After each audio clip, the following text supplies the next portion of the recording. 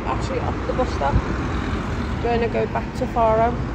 Uh, I will explain to you more why I didn't film in Albufeira because there's supposed to be a beach here and we never went to the beach and we think it's a load of beeswax. So I'm just sitting here in the bus stop. Hedgerow's next to me. All we done was uh, we've had that we've like all we, this is the God's honest truth. All we've been to is to a dead end, then back on a bus, then had a look around this shopping centre behind me. Then we went across the road, and that's about it.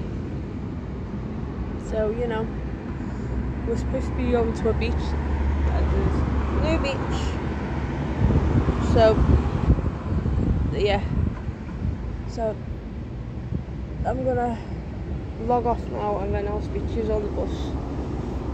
Because my head's just cabbage and I just want to go back on just want to go back to Faro now. Alright speak in a bit. Stay gaudy. Have pleasant dreams and I'll see you soon.